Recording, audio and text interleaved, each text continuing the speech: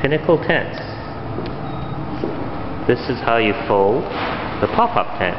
You grab all rings, you fold them together, shape like a you stand it upright with the strap down, fold it over once, creating a triangle, and then you push both rings together while pressing all the air out. Now it's ready to go in the bag.